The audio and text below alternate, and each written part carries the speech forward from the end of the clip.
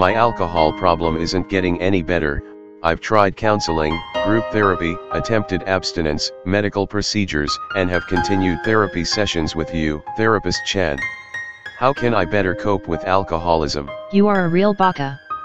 If it's that hard, you can always try beating your wife and kids. Thank you for enlightening me, now I can finally live the rest of my life in happiness.